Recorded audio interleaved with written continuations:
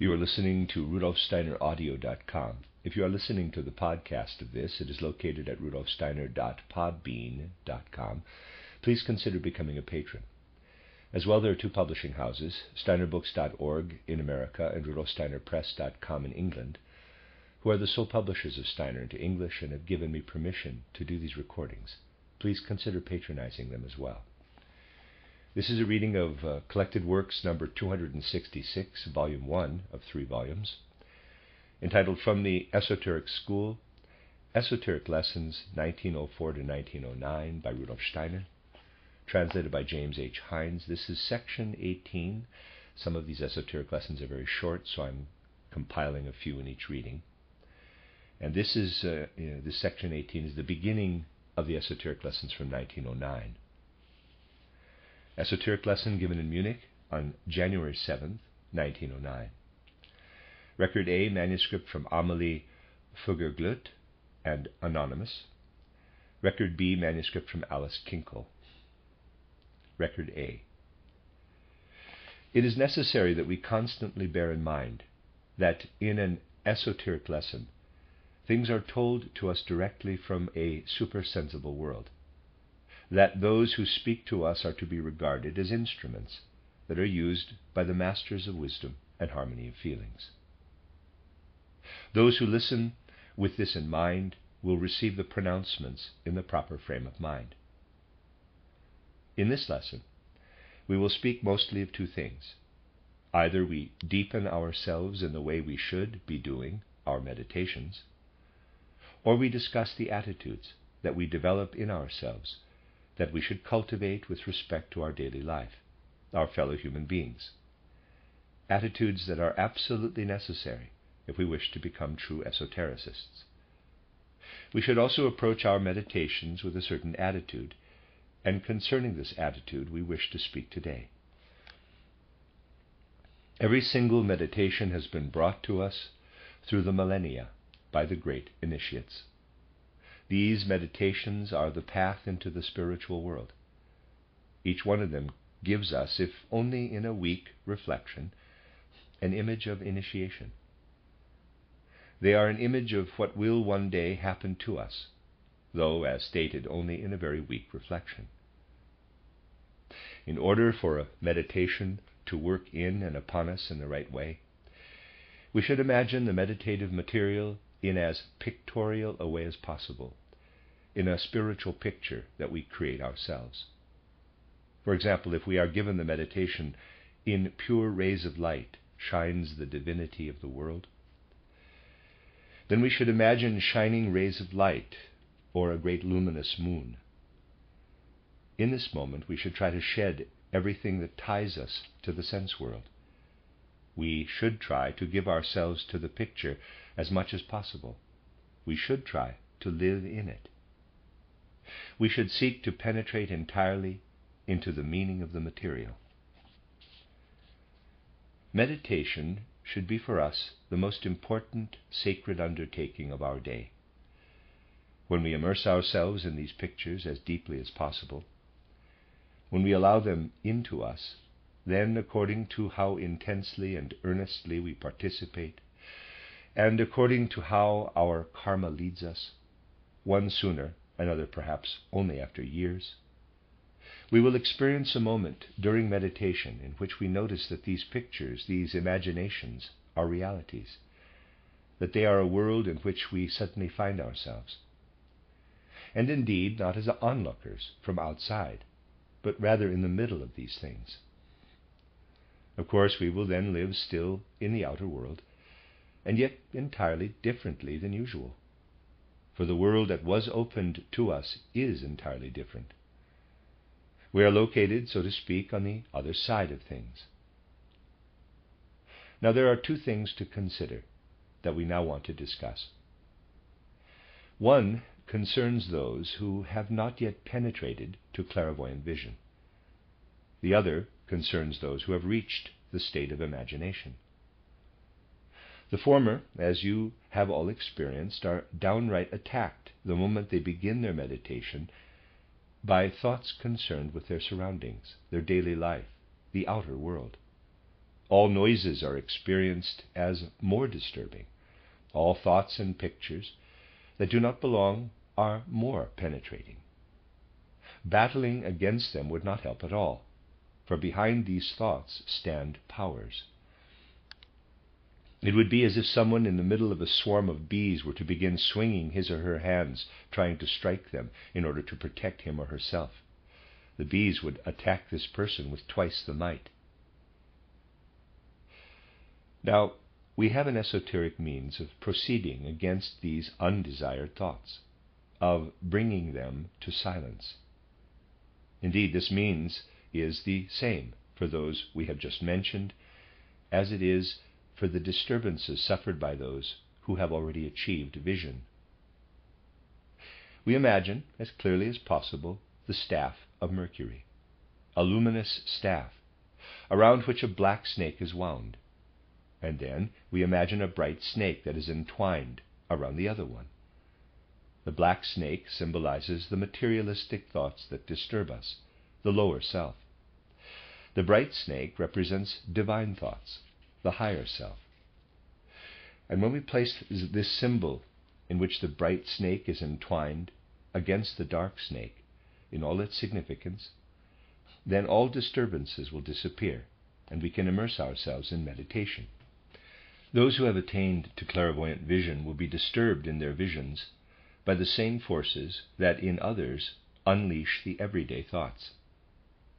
They will see all possible passions, desires, and so forth, which live in the astral world, in the form of wild, often ugly, sometimes also seductively beautiful animals. Here, too, the imagined staff of Mercury, the messenger of the gods, is the only solution. If we devote ourselves entirely to our meditations, then we will experience, according to our karma, one person sooner, another later, a certain feeling. We will feel as if our I, capital, were lost, as if we were split, inwardly torn apart. We must have this feeling. It is entirely correct up to a certain point. We humans feel ourselves enclosed in our bodies as a unity. But we must consider that we are something very complicated, assembled, that the world of the spirit, which for the most part we belong to, is definitely not something simple. On Saturn, the thrones worked on our physical body. On the Sun, from another aspect, the spirits of wisdom worked on our etheric body. On the moon, again, from another aspect, the spirits of movement worked on our astral body.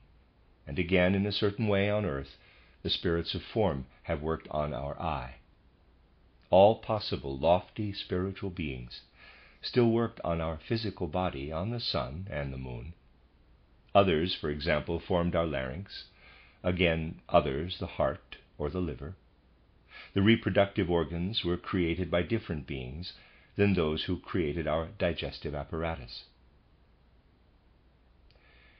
Now, at a certain stage of development, meditants feel as if they were being divided up among all these powers, as if they were handed over to them, as if they were lost among them. Those who have not yet achieved vision will then have a feeling of nothing, as if the meditations were bringing them no fruits at all. This feeling is very depressing, but it contains no great danger, neither for the meditant nor for meditation in and of itself. Seers in this state will hear a voice, the voice of a figure that they will soon see, and this figure will whisper to them that the world that they see is nothing, only the creation of their own illusions. That is the temptation that approaches them from the side that wants to hold humans back with all possible power in the sense world, in matter, that does not want to let them ascend into the spiritual world. And this temptation is a great danger. Here, too, an esoteric solution is given to us. At the end of every meditation, we imagine the rose cross. The rose cross is a symbol for the mystery of Golgotha. The cross, the symbol of death, from which roses, the symbol of life, sprout with the blood that flowed from the wounds. If we place this symbol with all its significance before the soul, we will have an unconquerable weapon for use against the power that leads us into temptation. And why? Because Christ, through his death, in the moment when his blood flowed, was united with the astral body of the earth and brought it new life and light. In this astral body he lives as the astral light that shines in the darkness. When we have achieved vision, we see into this astral light. The rose cross is therefore the symbol for the light that conquers the powers of darkness.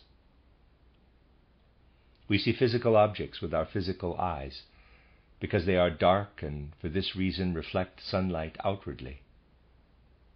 However, when we attain vision through our meditations, then the dark sheath that covers the objects will become thinner and thinner.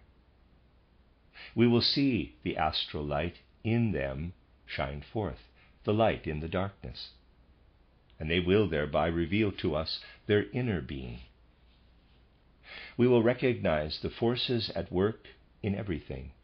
We will live with them for example, let us think of a red crystal cube, such as nature often produces. We will not only see this cube from outside, but also feel the forces in it, the forces that formed it, that spread over its surface another light opposite to the red. Anyone who wanted to penetrate into the inner being of this crystal by striking it would create nothing but more externalities we penetrate into the inside only by looking into the astral light. In order to be able to endure this astral light breaking in, in earlier times in pre Christian initiation, the person to be initiated had to go through a kind of sleep of death, which happened during the three days that they lay in the grave. Someone who had to go through this preparation after the event of Golgotha was Paul, who lay for three days in torpor after he had seen the astral light. When they are done properly, our meditations should leave us a spiritual strengthening. But if you do not feel this strengthening, do not fear it that it did not happen. We often have no feeling for it. However, every meditation has its effects sooner or later and often after years we harvest fruits that we had not expected. Those who, so to speak, are patiently satisfied with little, who do not demand growth with greed and impatience, will always receive a spiritual strengthening. The end of Record A. Record B. When pupils have time, they can do these exercises. They must be careful that their physical body does not interfere with the meditation. At the beginning, it is not necessary to be completely vegetarian. Meditants can freely eat whatever is good for their body. However, they should not eat food that has a tendency to condense or move toward the center of the earth, but only that which does not hinder spiritualization. Great inner moderation is the best guide for this. They must be careful to have the right amount of nutrient salts in their meals. But anything that leaves a sediment behind should be avoided. They should also not eat anything that grows within the earth. It is good to avoid meat, but milk or anything coming from it may be eaten. Legumes pollute dreams. Everything depends mainly on having the right attitude in doing all that is done. In our efforts, it is a matter of taking up an esoteric stream that strives for harmony. That is the end of that esoteric lesson. The next esoteric lesson was given in Munich on January 11, 1909, manuscript from Matilda Scholl, and there's a complicated diagram to begin with. Not all the senses have the same value. They have opened the physical plane for us, but the sense of touch is not bound to these alone. It shows us or lets us perceive not only the surface, soft, hard, rough, pointed, but also warmth. Humans were originally a body of warmth. The warmth of fire remained in them. In early Lemurian times, there were no surfaces. The soul of the human being penetrated things. Because of the Luciferic influence, these were closed off behind a surface. The quote, gate of the earth quote, was closed. The human being, or better, the human soul, in early Lemurian times, still saw the astral light that was behind the warmth when sensing warmth. The quote, gate of fire quote, stood open. It was closed as the gate of earth was formed. Earth and fire are related to one another in the esoteric sense as air and water. The power of the relationship between air and water is related to the germinal forces which the Atlanteans had mastery over. We access these forces again by means of the relationships that fire has with air and the earth with water, the former with breath exercises, the latter through certain meditations that have an effect on the earthly brain. Because of the Luciferic influence, humans were enclosed in the earthly physical sheath earlier than would have occurred if the other powers alone had influenced the human being. Fire, physical and mineral also, should have been taken away from them. Lucifer gave it to humankind. The Greeks and the ancient Nordic peoples understood this and expressed it in the myths of Prometheus and Loki. The human being will learn to master fire only on Vulcan and, thereby, become creative. That's the end of that esoteric lesson. The next esoteric lesson was given in Kassel on February 26, 1909. Notes from the collection of Fred Poeppig. Today we want to consider some difficulties that are typical for meditants. Meditation is, in small measure, of course, the same as what initiation is on a large scale. Also, in meditation, certain difficulties appear and therefore must be overcome immediately at the start. As soon as pupils enter an esoteric path, powers who seek to hinder their development come to meet them. Such powers are constantly present. However, an esoteric pupil is more valuable for these powers than someone whose interest is turned only toward the external things of the physical world. For what, then, is it essential to strive in meditation? We should forget ourselves by extinguishing everything connected with ordinary life in order to immerse ourselves only in the content of the prescribed words, so that we no longer know or feel anything concerning our body or concerning thoughts and feelings of daily life. But the adversary powers want to prevent us from doing precisely this. They try to draw us back into everyday life by hindering our concentration on thoughts. As soon as we notice this, for example, in the meditation, quote, in pure rays of light, close quote, in which we are not supposed to think or feel anything other than that light is the garment of God, so that we live entirely in this picture, we can imagine the staff of Mercury as an effective symbol. Indeed, we imagine it as a luminous, bright yellow staff, entwined by two snakes, one dark and one a luminous white snake. We begin with the dark snake. All living things are found in a skin, which is a sign that they are enclosed in the physical world. The etheric body also has a skin, so too the astral body. When humans receive the impressions of the day through their senses, these impressions have an effect on the skin of their astral body. It is pushed back and used up. It gets tears and fissures. This, that is seen in fatigue. This skin is torn apart when we fall asleep and is renewed during sleep. Now, we should attempt to become conscious of this process before falling asleep. In doing this, we can imagine how we are now entering spiritual worlds, where the astral body is again renewed by spiritual beings in the realm of harmonies and music of the spheres.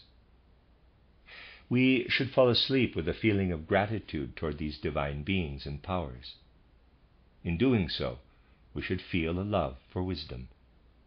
Then baleful influences will not be able to reach us.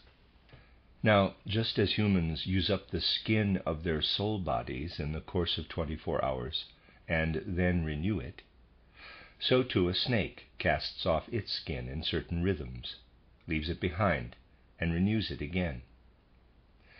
For this reason, spiritually, beholding the staff of Mercury is an effective means for overcoming the influences that hinder us from penetrating spiritual worlds in meditation. Another method lies in imagining that we feel ourselves as if enclosed in a blue aura and thereby protected from all evil thoughts and feelings that want to attack us from outside. We inwardly feel how we are closed off from all evil influences by this aura. Only good powers can find entry into our soul. This can be effectively connected with the following meditation. Meditation for protection against outer influences. Quote, May the outer sheath of my aura grow stronger. May it surround me with an impenetrable vessel against all impure, self seeking thoughts and feelings. May it be opened only to divine wisdom. Now, it is like this. A beginner at first feels only the presence of powers in his or her distracted thoughts, while an advanced pupil sees these astral powers as parasitic animals, as rats and mice. But no one who sees the rats and mice should be delighted about the fact that he or she is already so advanced. Otherwise, he or she would be completely subject to these powers. We must make ourselves strong to resist the influence of these dark powers. There is a second typical experience that appears in meditation. Again, the beginner feels it while the advanced see it.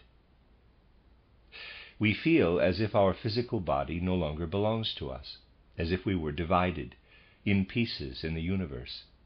Even the organs, such as the heart, the liver, gallbladder, are expanded. And we remind ourselves that our physical body has come into existence on Saturn through the instreaming of the substance of the thrones, our etheric body on Old Sun through the spirits of wisdom, our astral body on Old Moon through the spirits of movement, while our I was given to us on earth by the spirits of form. We return to these spirits in meditation. Now, we should not imagine that each of these individual organs returns to the powers that implanted them in the human being during the cosmic evolution of the world. It is much more a feeling of belonging to those powers, a rising in one's feelings to their moods, during which the consciousness of our own I must constantly remain when we feel this sense of belonging to the corresponding spiritual powers. A further typical experience during meditation is the feeling that one's consciousness is weakened, indeed, that it is dampened down. In a certain regard, this is also the case. Nevertheless, we must attempt to remain constantly awake. A means of doing this is to visualize the black cross with seven red roses. It is the great symbol of Christ Jesus Himself, the rose cross life dying, passing away, which has within itself the power to bring forth new life out of itself. Altogether, the spiritual beholding of the, this symbol always has a strengthening effect on spiritual development, It strengthens our everyday life in all situations. Indeed, the tempter approaches us most powerfully during our esoteric exercises. Advanced pupils see it in pictures as it is given in the Bible. This picture is drawn precisely. Finally, during meditation, a feeling of deepest peace clearly enters. It is not any external f- feeling of calm, but rather a deep inner feeling of peace that cannot be disturbed by anything, no matter how much roaring and tumult may rage around us. These are the three typical phenomena during meditation, along with many others, which vary according to the individuality of the meditant. Number one, bewitching phenomena, parasitic animals. Number two, distribution of oneself among the various hierarchies, during which we are not allowed to lose our I consciousness. Number three, the deepest soul peace is imparted to us. The staff of Mercury helps us to penetrate into spiritual worlds. The rose cross strengthens us in doing so.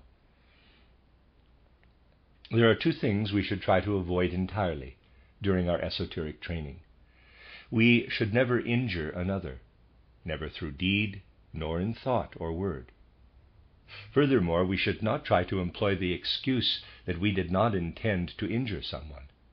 It does not matter whether we did it with intention or not. The other feeling, excuse me, the other thing is the feeling of hate, which must disappear entirely. Otherwise, it will reappear in the feeling of fear, for fear is suppressed hate.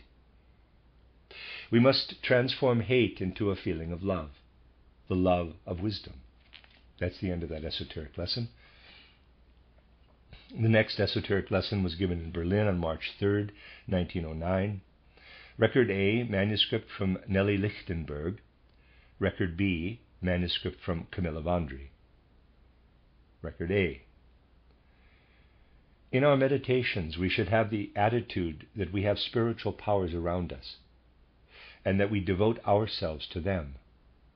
For all those who belong to a true esoteric training stand under the leadership of the masters of wisdom and the harmony of feeling. In the moments of meditation, we should completely loosen ourselves from the events of the day, altogether from the physical world. And we achieve through contemplation or inner immersion, if we are in a position to do so, the ability to fill our soul with content. We should then create the content ourselves. What the teacher gives should be seen as a seed. He or she speaks objectively about higher worlds, and we should feel it in meditation and bring what has been related to us to life. The teacher will never want to reach into the I of another. Altogether, no one should ever reach into the I of another. Now, during meditation, there are certain temptations that pupils must overcome. And for that purpose, the following two symbols should be placed before the soul as helping supports when they fall to these temptations. If pupils, still at the beginning of their training, are still thinking of the events of the day during meditation, or if their surroundings distract them from concentration, then they should place the caduceus before their soul, this ancient symbol, the luminous staff with the dark snake and the bright snake. What does this symbol represent? All living beings, down to the simplest life forms, are enclosed in a skin. So, too, visible for a clairvoyant, our astral body is enclosed in a skin during the wakefulness of the day. However, the skin is frayed and torn as its forces are used up. And when the astral body is properly frayed and torn, then sleep enters for the human being. When we then return to the spiritual world during sleep, this skin is restored. For this reason, every evening we should remember that we are returning to the spiritual world, our home. The Pythagorean numbers always contained such wisdom, and zero always represented this skin. With zero, we come out of the physical world into the spiritual world. There is nothing within this zero that is of value for the spiritual world.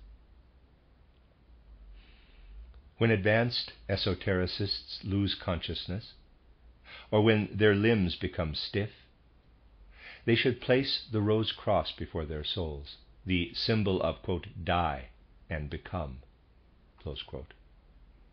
Advanced pupils, pupils who are already seeing in a certain way, have greater temptations and attacks than those who are just beginning. Many kinds of ugly forms appear to them which want to distract them. Indeed, also deceptive images in venerable form who want to say to them, quote, All this I will give you. And if they do not resist these temptations, they can come into great danger. Here, too, the rose cross, the black wood of the cross with the red roses, that represent the blood flowing down from the wounds of the Redeemer on Golgotha, is the safest means to resist this temptation. No matter what their experiences may otherwise be in thousands of variations, there is one experience that all esotericists have. If only they have patience and endure, then it will one day also come to them, namely the feeling of being divided into pieces, of being partitioned into various streams. We know that on Saturn the thrones, on the sun the spirits of wisdom, on the moon the spirits of movement, on the earth the spirits of form, guided our evolution. On Saturn the thrones guided our blood. On the sun, the spirits of wisdom guided our glandular system. On the moon, the spirits of movement guided our nervous system. Now, the pupil feels him or herself as if divided up between all these streams. However, there exists then the danger of losing oneself entirely and not finding the way back. And here it is also necessary to imagine the rose cross. Through proper immersion and meditation, a feeling of safety, calm, and peace then comes over the pupil. Not a peace that consists only of calmness, but a peace such as can only be found in higher worlds and would be achievable here if we could imagine it thus a roaring, surging, storming sea, whose substance is the same as if it lay there calm and smooth. If you were to stand in the middle of this surging, raging sea on a wreck, and were able to forget yourself to the extent that you had no anxiety and fear of death for your personal life, but rather in the middle of this roaring and mortal danger could be immersed only in the lofty, magnificent view of the raging sea, and felt only the beauty and loftiness of this view, then in this moment you would have peace as it can be found in the spiritual world. This peace is possible in the spiritual world. Here it is not possible, except when we can forget ourselves completely in ecstasy, when we open our souls so wide that the peace of all the spiritual world streams in. All names for Christ that are other than I am are not correct. We can never speak of He. Mystical Father, Son, Holy Spirit, Masonic, power, effect, being, Gnostic, in brackets not indicated, alchemical, sulfur, mercury, salt. The end of record A. Record B. And finally, the pupil should hold firmly in his or her soul, constantly preserve the freedom and independence of the I that is our highest being. And looking up to Christ, may there stand in our soul Christ is the archetype of the I. May my I strive to become a reflection of this archetype. And this archetype cannot be characterized by any name other than I am. Everything that the masters, the leading spirits of humankind, have given from their experience of millennia in an esoteric training that has a right to exist. never touches this independence of the pupils who entrust themselves to them. The teachers will never give a pupil something from outside that is ever finished. Rather, everything they give is given to the free will of the pupil, so that it can unfold its effectiveness in him or her. The becoming or growth is placed in the hands of the human being, him or herself. The impulse is given into the I, and the I must develop it out of its own inner power that can only be enkindled from within. For this reason, it is a kind of impurity if an esoteric teacher reveals his or her own feelings to a pupil. He or she conveys facts about the spiritual world. The pupils themselves develop their own feelings about them, and their souls blossom from it, just as flowers blossom from seeds. And on the pupil's esoteric path, there is a vow that is always alive in their souls, that they always keep awake in their souls. I will never injure another human being, neither through words nor through deeds, not even in thoughts. Here we must not allow ourselves any excuse. Here we must be as strict as possible with ourselves and as gentle as possible with others. Hate, too, must entirely disappear in us not by suppressing it, for that would only bring about its transformation into fear. Fear is always suppressed hate.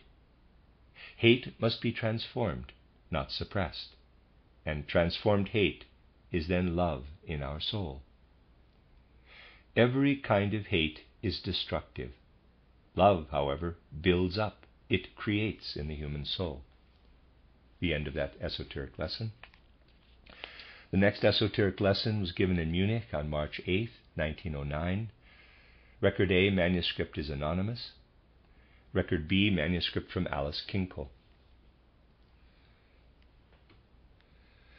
Record A. In today's lesson, we will have much to repeat of what we said the last time, January 7th. And at the same time, we will bring new material as well as illuminating much from another side.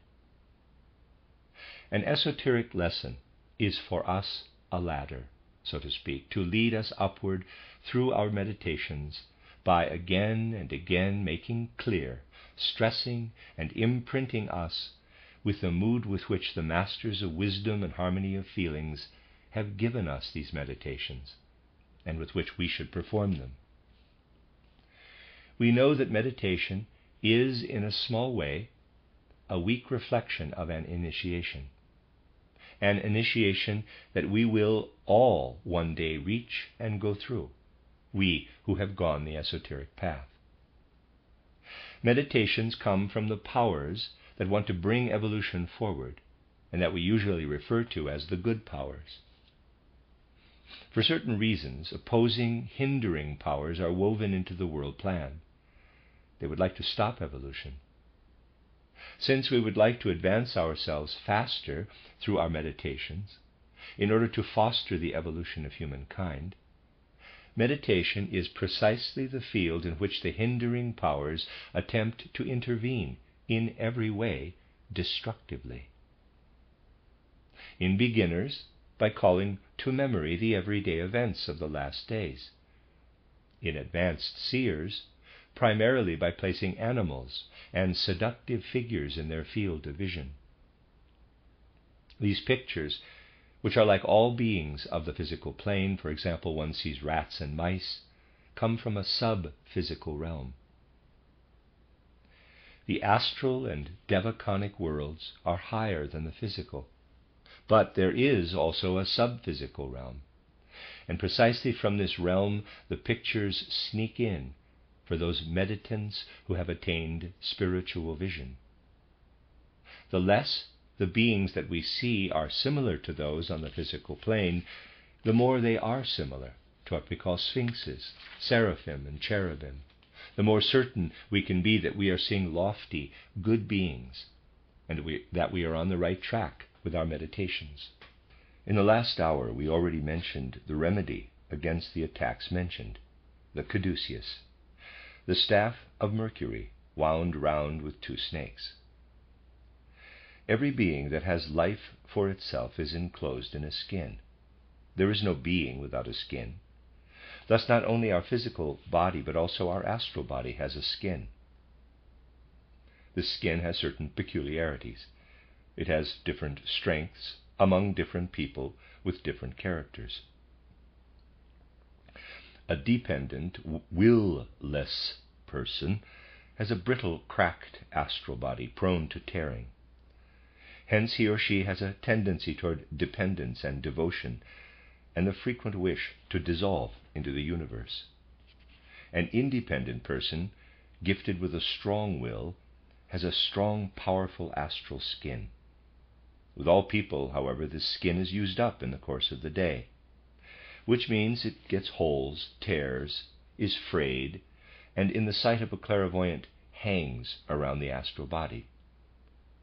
This tearing of the astral skin is the cause of the feeling of exhaustion, of drowsiness.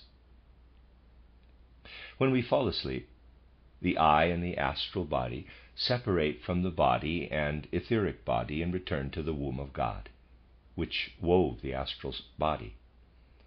The astral body draws from God new forces to form a new skin.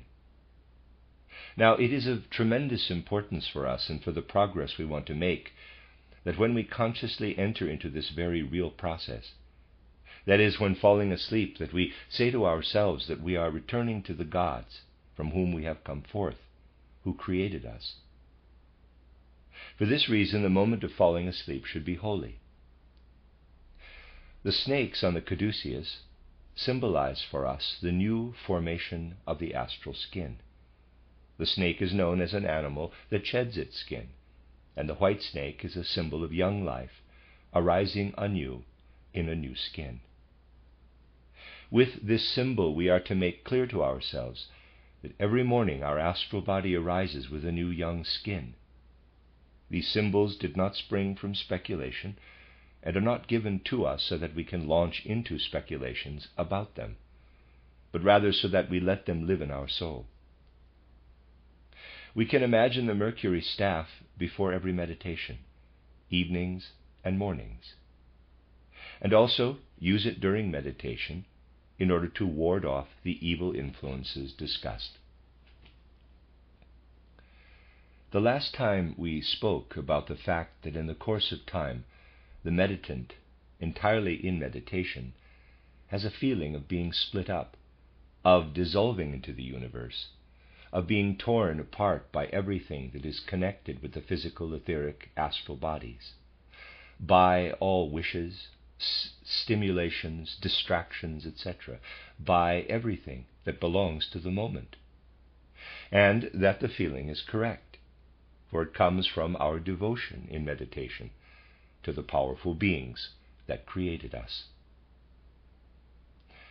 On Saturn, our physical body came into being when the thrones, so to speak, poured themselves out, gave themselves in devotion.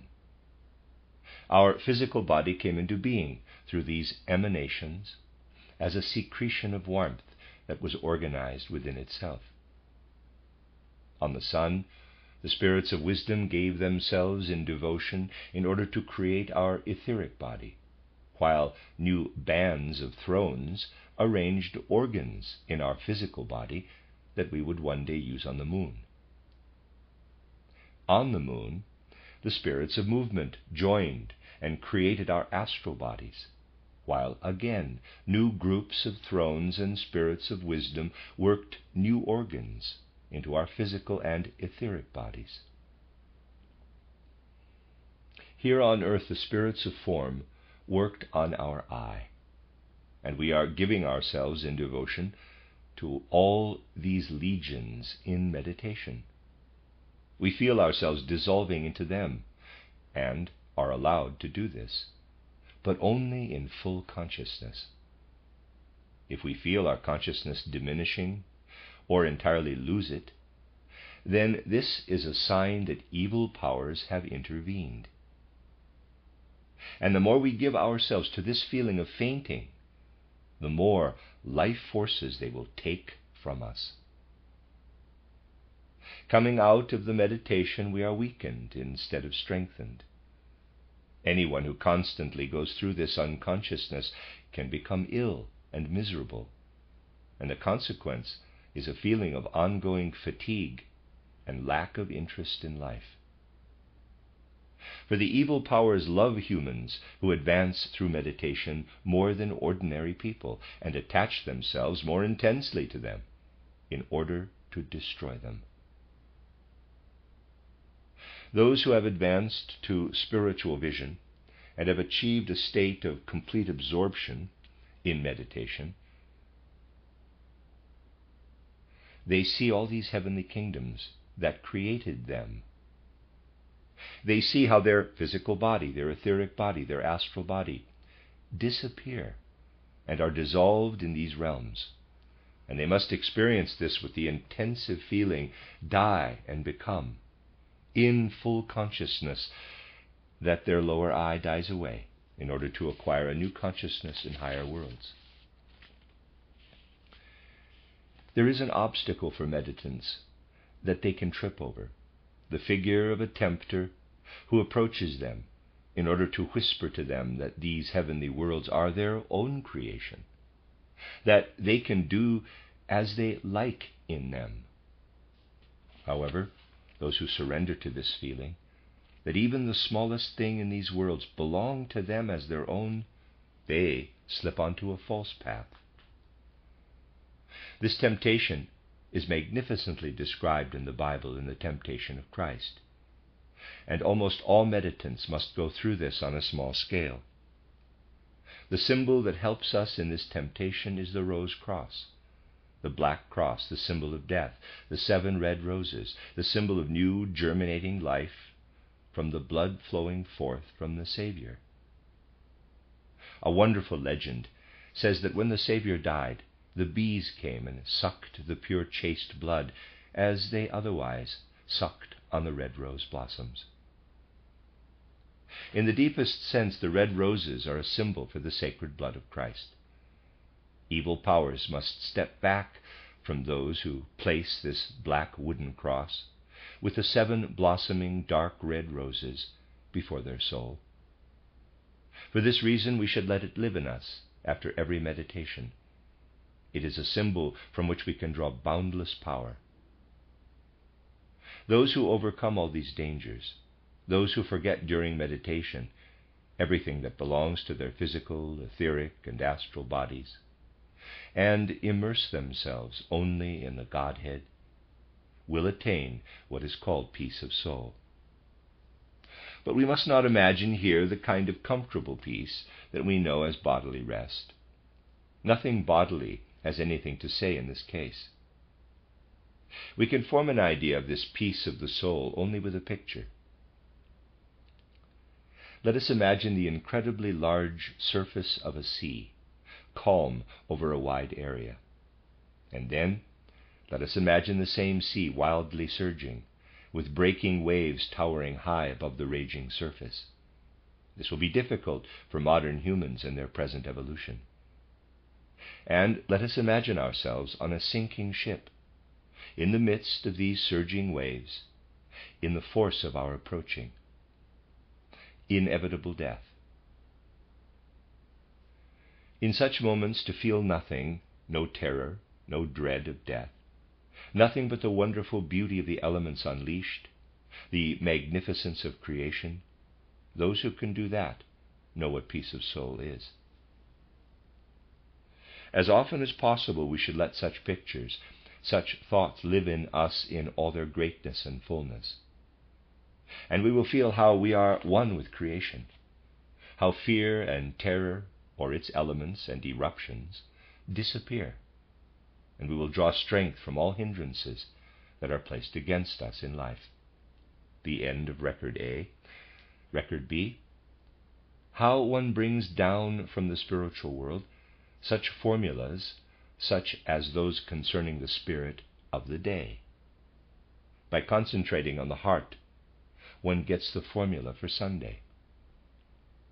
What are we striving for in esotericism?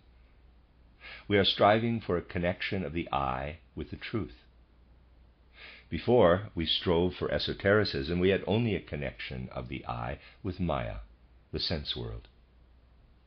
Anything in us that does not fit into the spiritual world must be separated from us if we want to enter this spiritual world. That is brought about by beings of the Luciferic legions. Their names are Samael, Azazel, Azael, Mahazael. The end of record B and the end of that esoteric lesson. The next esoteric lesson was given in Hamburg on March 14, 1909. Record A notes from J.B. question mark. Record B notes from Amalie Wagner. Record A. Every exercise is a reflection, no matter how small, of a picture of initiation. And the humble feeling that we bring to initiation we should place in every meditation given to us. It is important not only that we do every exercise precisely and regularly, but most of all, how we do each exercise. There can be hundreds of different experiences of meditation, but certain typical experiences everyone must go through. All beginners have to battle with Ahrimanic beings that penetrate their consciousness during meditation and attempt to distract them. This becomes noticeable as a stream. In order to understand this, we must be clear about the following. All independent life is surrounded by a skin, and so is the astral body. This enclosed astral body was always signified by a zero. Foreign beings cannot penetrate into a being enclosed by a skin. Thus, the human astral body was a zero, a nothing for the remaining beings. By being separated out from the entire astral material and surrounded by a skin, the astral body becomes a one. And that is signified by setting the one before the zero, one zero. To this are then added the numbers that point to future stages of evolution on Jupiter and Venus, 6, 5, excuse me, 6 and 5. Thus emerges the mystic number 1065, Dzyan, which is spoken of entitled The Secret Doctrine by Helena Petrovna Blavatsky.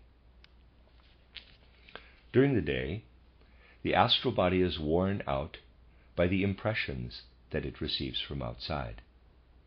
In this way, the skin gets tears so that forces can stream out, forces necessary for the physical body.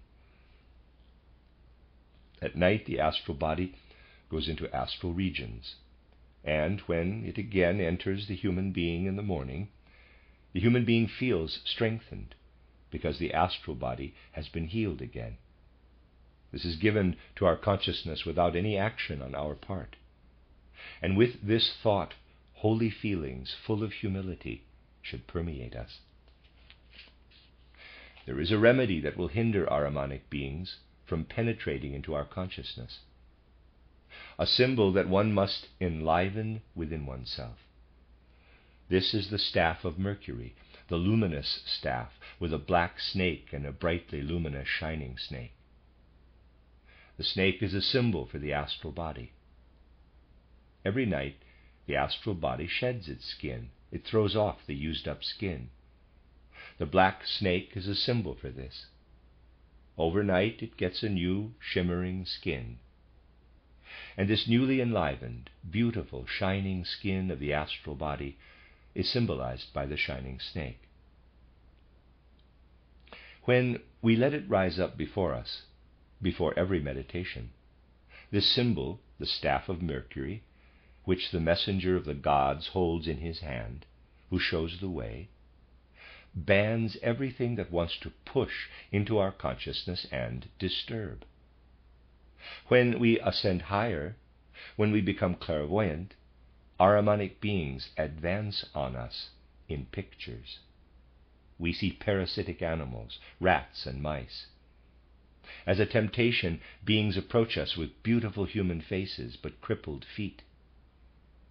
We must not give ourselves to them. Good pictures are when the meditant sees a sphinx, seraphim, or a cherubim. Here, too, The staff of Mercury is to be used to ban the beings that would pull us down. When the meditant ascends higher, he or she has the feeling, with new exercises, of being divided up, of flowing apart. This feeling is entirely justified. The human being here is the torn apart Dionysus. Yet his or her consciousness must not be allowed to be lost here. In order to understand this, we point out the following. On Saturn, the thrones, the lofty sublime beings, worked on the physical body. The physical body does not belong to us, it is an optical illusion.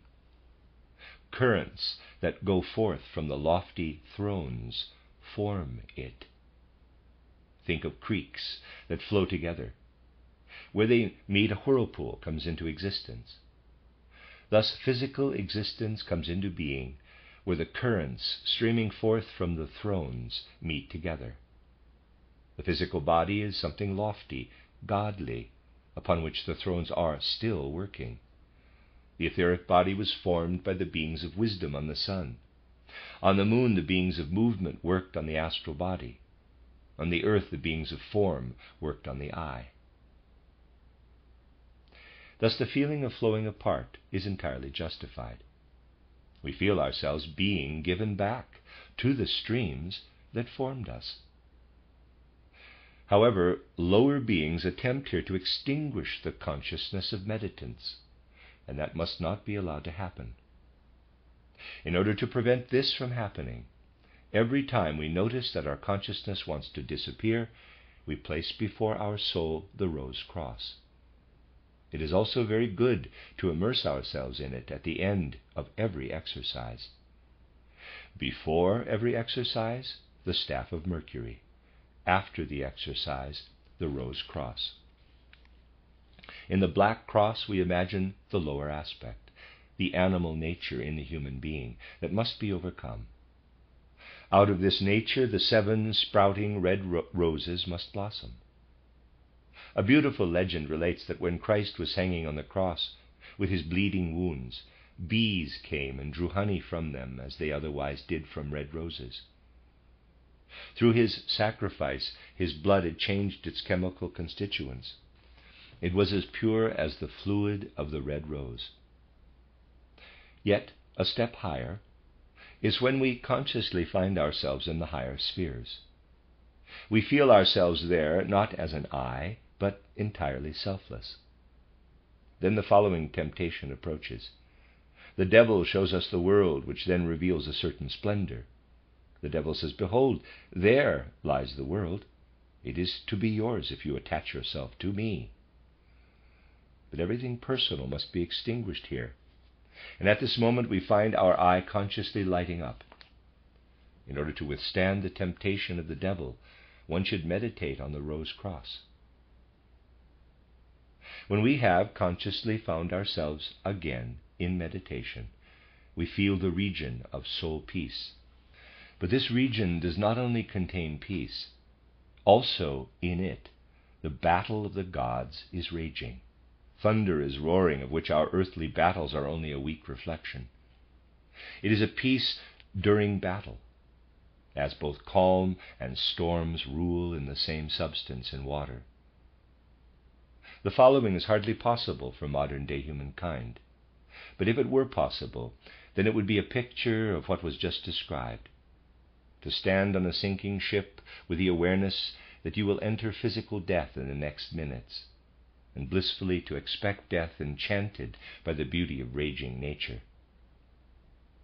Thus the meditant rests in blessed peace, in the region of soul peace, aware of the storm and battle in the same region. A great hindrance for meditants is hatred, which lacerates the astral body and stimulates decay and causes vibrations of death in the physical body. We are just as responsible for unintentional injury as for intentional injury. If hate is merely suppressed, then its vibrations are rearranged into fear. People who have fear can never be genuine esotericists because they still have suppressed hate within them. We should try to prevent unintentional insults. It, must, it is much easier to have good intentions than to act wisely. We must acquire love of wisdom in order to transform the hate. This love of wisdom flows out of the theosophical worldview. The end of Record A. Record B, an excerpt. When meditants manage to penetrate into the realm of spirits, then their astral body expands. They have left their sheath behind, and they have the feeling that they have been divided up. They no longer feel themselves as separate beings. They have forgotten their personal earthly names. Thus it should be. This is worth achieving. But there is a danger associated with it. When meditants then lose their consciousness and faint, fall into a trance, then they are weakened. They are then exposed to the influences of mediums which injure them. If they feel this condition approaching, they should place the rose cross, the rosy cross, before the eye of their soul, UIE, at first in imagination. Later, they will see it in reality. That maintains them in waking consciousness. There is a wonderful legend that when Jesus' side was opened and blood flowed forth, bees came and drew honey from it. What they obtained from chaste flowers, from roses, they could draw from the pure blood of the dead Christ. Finally, Dr. Steiner spoke of soul peace, comparable to the flat surface of the sea, yet the same water that reflects so quietly and peacefully can be stirred up into high crashing waves. So too is the spiritual world. Terrible battles are fought there. Compared to the battles of the gods, all the battles here on earth are child's play, a weak reflection. Is it possible to preserve there peace of soul? It is possible, and indeed as it is hardly possible here on the earth. But we can explain it with a comparison. Think of a person on the high seas. Waves upon waves mount up, crashing upon and breaking the masts. The ship is the victim of the waves. Bodily death is imminent. Death is certain, and the person is so taken by the majesty of nature's power, by the impressive drama, that he or she forgets him or herself and goes down with these lofty, reverent feelings. If we can do this, and we will achieve it on the spiritual plane sooner or later, then we have experienced, quote, die and become. Close quote. That's the end of that esoteric lesson. The next esoteric lesson was given in Berlin on March 21st, 1909. Record A notes from Paula Stryczek. Record B notes from Wilhelm Hübbe-Schleiden. Record A. This is the last esoteric lesson for a few weeks. It is my obligation to give you some instruction for this time. Only those who still have very important questions can ask them of me after this lesson. It is good when esotericists become accustomed to being independent. If they cannot answer a question for themselves, then they should pose it again and again, but without brooding. The answer will come to them soon enough. Patience and endurance are the main factors for an earnestly striving esotericist. Already in the last lesson, advice was given concerning the staff of snakes and the rose cross, which will take years to digest. What is to be presented today should be understood only as notes and remarks. The human being is an extraordinarily complicated creature. When someone begins to live as a vegetarian, there are many things to be considered. With everything that we consume, animal, plant, mineral, we take into us the spiritual forces that formed it. If, for example, we eat a bull, cow, cattle, then the forces are drawn into us that worked on that being back when the bull fell out of the series of advancing beings. Animals are beings who descended before their time, in which the forces hardened, the forces that were at work on them at the time of their turning aside from the evolutionary process. Animals have remained at the stage of evolution of that time. Thus, at the time when the bull fell out, the forces worked in such a way that a small brain and a protruding snout were formed. Those who consume bulls, that is, beef, take into themselves these forces, which bring forth a small brain and a protruding snout. This is not to be understood in such a way that one physically becomes similar to a bull, that one gets a protruding snout, and so forth, but rather one takes these forces into one's astral body, which then work to harden in this way. After death, when the astral body becomes free, it takes on these forms. One can observe this on the astral plane. This fact is the basis for the idea of, quote, transmigration of souls, However, the human being of today needs this hardening that comes to him or her through consuming flesh. Humankind was intentionally led to eating animals at a certain time. In those beings that did not fall out of the entire process, in whom the form at the moment of falling out of the process, was not hardened, the forms remained softer, so that other forces could continue to work on them and develop them to higher stages. If humans had not eaten any animals, then they would have remained soft. They would have assumed grotesque forms instead of the present day human countenance. Now, if people today live as vegetarians, then they lose this hardening influence, this inner solidity. And if they do not have a healthy body through heredity, if they are not, as we say, a robust person, then they can easily lose their inner stability and can even become insane. Esotericists must overcome the fact that something outside them is working for their progress. They must take their own development into their own hands and aim at acquiring this solidity that was brought to them through these hardening forces by means of acquiring clear thinking.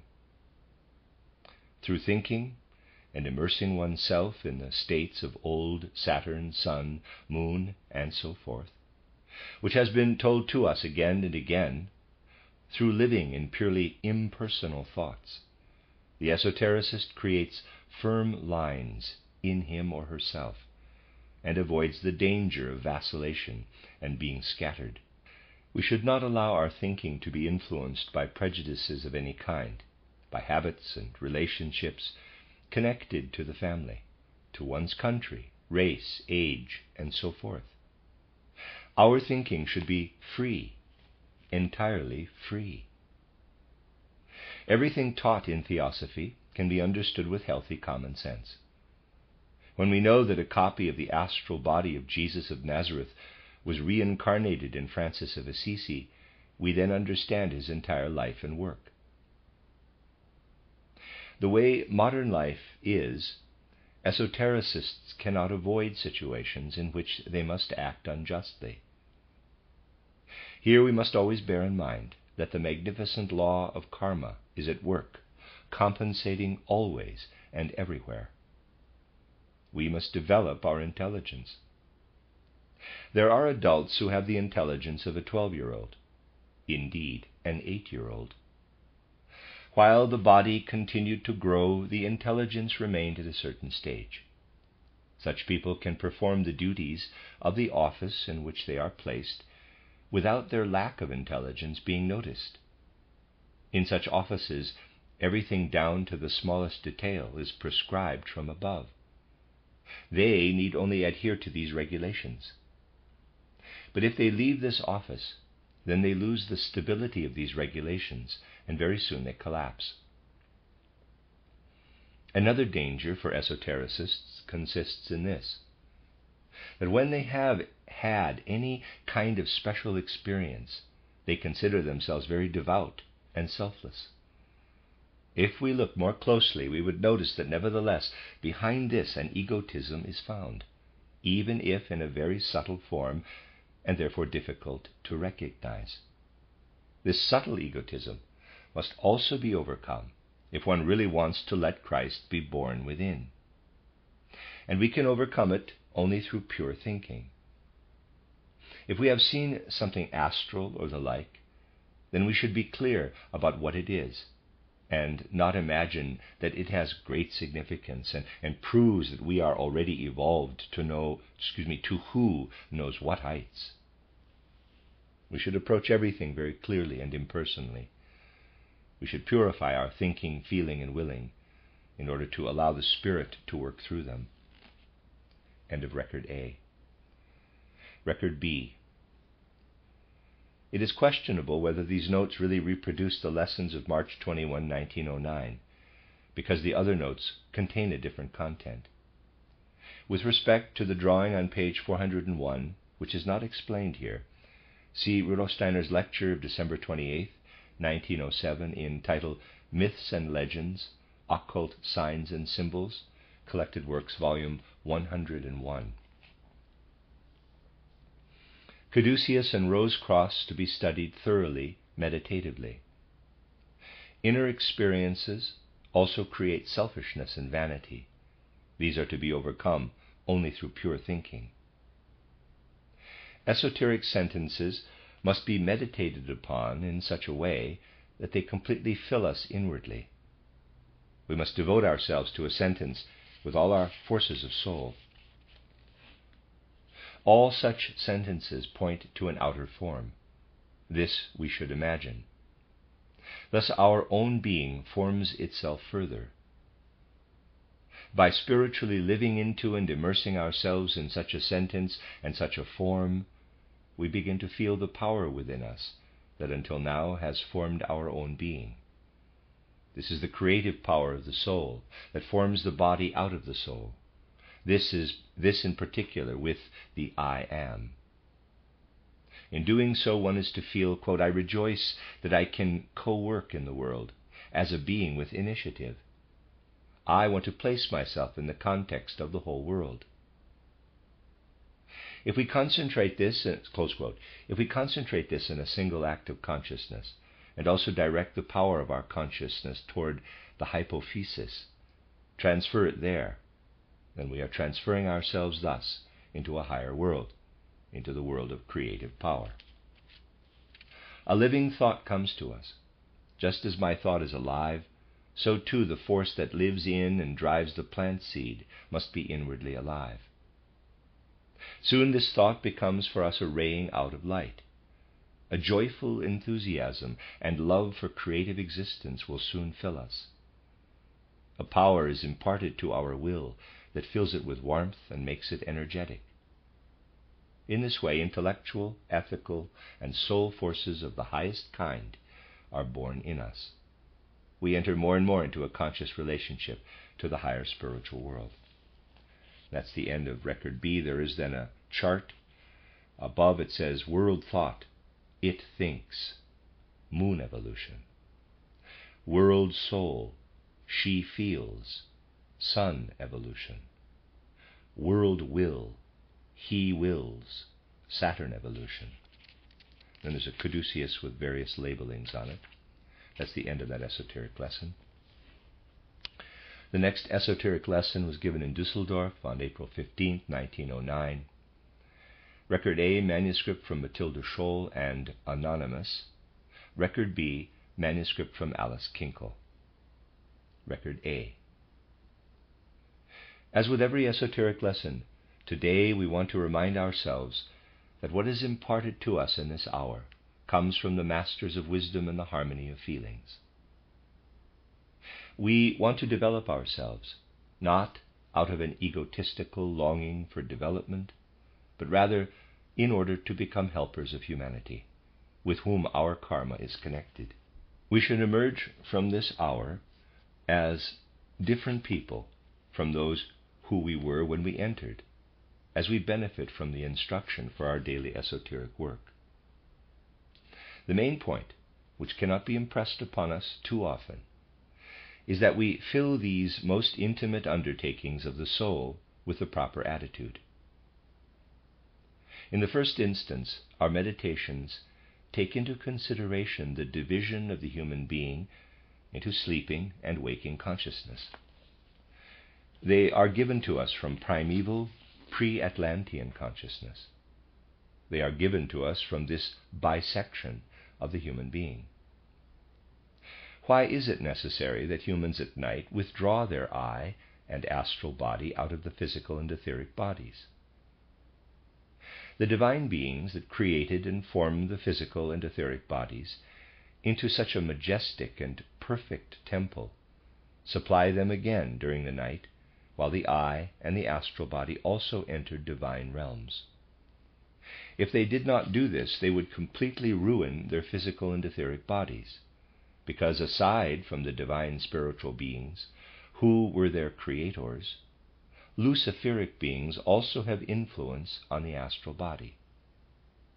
For these were the beings who made the astral body free and independent. In this way, humans fall back into error and guilt during the day when they return to their physical bodies. It is not the physical and the etheric bodies that are subject to errors, but rather the astral body that is seduced by the I and gives in to the promptings of luciferic beings. Normal people are protected from the deeper, more dangerous influences of these luciferic beings by a strong power given them by the divine spiritual creators. But an esotericist must use this power in order to ascend to higher stages of evolution. When falling asleep, esotericists should say to themselves, quote, I am returning to my Creator, quote, and when awakening, quote, I am coming to the place where I abided before my body was created. And in meditation, they should abide for a few moments consciously in these realms. If they practice with this attitude, they will thereby enkindle the holy fire the inner warmth within themselves that is necessary for them. And in the evening, before falling asleep, they should develop the same feeling during their esoteric work, even if it is only the daily retrospection.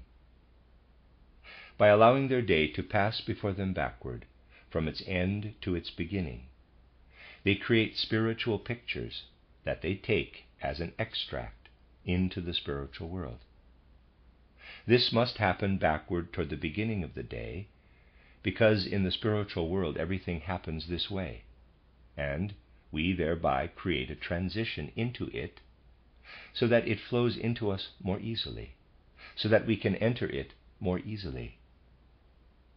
By carrying ordinary forward directed thinking into the spiritual world, we push against it, shove it away from us. And in this way, we ourselves hinder our development. As in the night luciferic beings influence us, so to speak, from within, so during the day Ahrimanic Mephistophelian from outside. What have these beings caused in humans through this influence? Along with freedom and I consciousness, luciferic beings brought their most extreme form, hatred. Humans would never have been able to hate had they not increasingly felt separated in their I.